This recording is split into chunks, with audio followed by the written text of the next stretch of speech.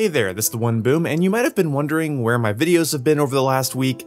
Well, my tonsils decided to give up and die. Yeah, it's been kind of miserable, but on the bright side, I haven't been going on Twitter over the last week, so you could kind of argue that my health has improved. But you see, when I started getting sick, I really wanted to make a video about Call of Duty Vanguard having 10 attachments. Now, I want to do videos on Red Dead Redemption and on Battlefield 2042, more specifically, why I'm not interested in Battlefield 2042 very much. That is to say, I'm not hyped for it. Either way, I want to make those videos, but those sound like they require a lot of time, so I'm going to use this window of my throat not absolutely killing me to make a short little video on a simple topic. Call of Duty Vanguard has been leaked and shown to have 10 attachment options in Gunsmith, and a lot of the leaks say that that is by default because there's no wildcards in the game, and from what we've seen, there's no perks that grant you extra attachments, at least none that I've seen. This video should be pretty easy to record because I can't even edit in pictures and videos of the things that have been leaked because otherwise, well, I just got done being bedridden, so I don't want Activision to make me bedridden again. So, XclusiveAce already nailed it in his video where he said that 10 attachments on a gun is potentially scary for weapon balance, but the big downside is that it takes away the need for trade-offs. Now, I don't like limiting weapon customization. That makes me feel like I need to pick the same 3 to 4 attachments on every gun like I did in COD World War II, and I didn't like how Pick 10 systems made customizing your gun feel like a chore, like a frag grenade and a red dot sight cost the same in Black Ops 2, so yeah, unless you're an idiot, you're, you're gonna go with the frag grenade, because that's far more useful than a red dot. Also, a suppressor and an ACOG scope cost the same, so getting goofy with attachments doesn't really matter when the practical attachment costs the same as an attachment you probably don't need to put on your Type 25. Either way, I like being able to customize my guns in deep, in meaningful ways. Modern Warfare nailed this. It felt meaningful because you weren't just changing stats, you were changing the overall aesthetic and feel of your gun. So there you go.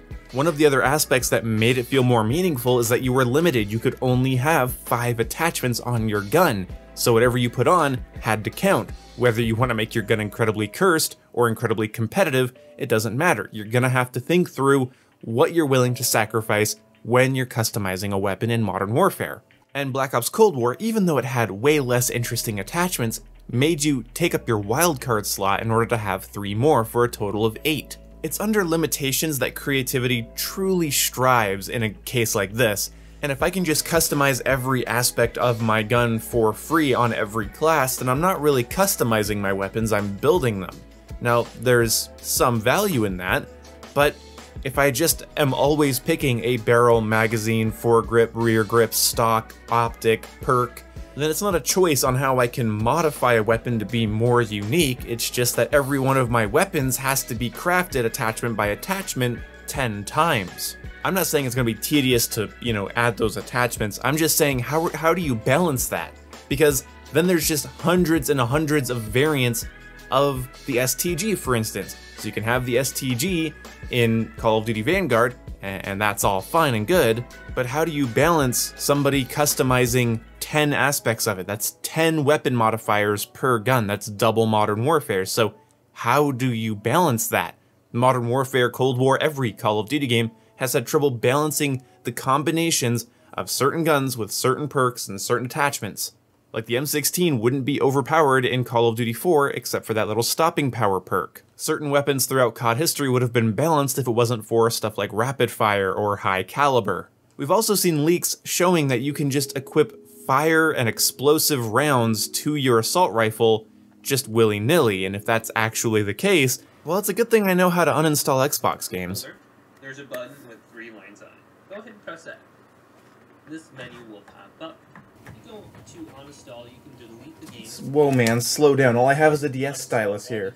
If you're a Call of Duty player, I don't need to go in depth on this topic for you guys. You guys know how attachments have affected the balance of Call of Duty ever since you were able to put attachments on your guns in Call of Duty. And nobody needs to be told that explosive FMJ rounds and incendiary rounds have no place on SMGs and ARs. That doesn't make any sense. But there's one last thing to add here. I don't trust any Call of Duty developer with this undertaking, but I really don't trust Sledgehammer. Sledgehammer doesn't exactly have the most consistency under their belt, but the one thing that I noticed consistently throughout Call of Duty World War II and Advanced Warfare is their inability to properly balance weapons. I remember weapons bouncing between being overpowered and completely useless. I remember weapons staying overpowered throughout the entire life cycle and somehow never being properly tweaked or touched. And that kinda happens with every single Call of Duty game, but I think it really happens with Sledgehammer's games, and I don't trust them to tweak 10 attachments per gun. Like maybe some guns will have less attachment options than others and other guns will just have smaller attachment pools to pick from, but it still doesn't make any sense to me to push the game in this direction. From my point of view, what it looks like is they saw how popular Gunsmith was in Modern Warfare and shoehorned it into Black Ops Cold War because you can't have a Call of Duty anymore without Gunsmith. Even Call of Duty Mobile got Gunsmith. And now you're going into a World War II game which will be more inherently limiting for the developers when it comes to adding new content due to its time period, so the best thing you can do is improve Gunsmith. How do you improve it? I'm glad you asked. You do the tried and true game developer method of overcorrecting in the wrong direction. Just add more. More is better, and the best thing you can do to capitalize on the success of Gunsmith is to create Gunsmith, but with zero balance. I mean, people loved coming up with competitive, quirky, casual, and cursed weapon builds in Modern Warfare, so people will love it here, even if it doesn't have any of the weapon balance, because you'd have to forget the fact that Modern Warfare's main selling point with Gunsmith for any longtime player of Modern Warfare wasn't that they could make their gun crazy good or crazy cursed, it was that despite being able to do so, it didn't destroy weapon balance. Obviously, some combinations were better and worse than others, but that's okay, we, that's just sort of unavoidable. With Vanguard, we're talking about doubling the variability, we're talking about doubling the modifications.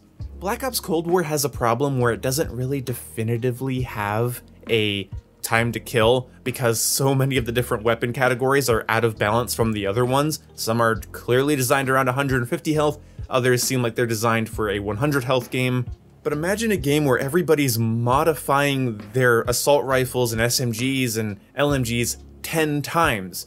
And when you factor in that a single gunsmith attachment in either Black Ops Cold War or Modern Warfare can change a gun three ways, you know, recoil control, aim down sight, speed, movement, speed, bullet velocity, all of those could be changed by a single attachment.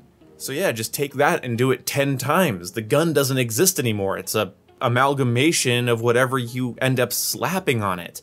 And now you have to ask yourself, what percentage of the patch notes and future Call of Duty Vanguard updates are just going to be Sledgehammer tweaking attachments constantly because people are finding more and more overpowered attachment combinations? And then also how many of these attachments are just going to be duds because there's no way they're making every attachment for these guns optimal. Cold War didn't do that. Modern Warfare didn't do that, so unless Sledgehammer's been exclusively hiring magicians to work on the weapon balance of Vanguard, the only thing they're going to be pulling out of their hat is garbage. And with that, I'm going to end this commentary. If I sounded bad in this video, it's because, well, my tonsils are horrible. If you want to send them a formal complaint, I'll leave their address in the description of the video. And, uh, yeah, see you when I see you guys. Goodbye. If I got anything wrong, by the way, I don't care.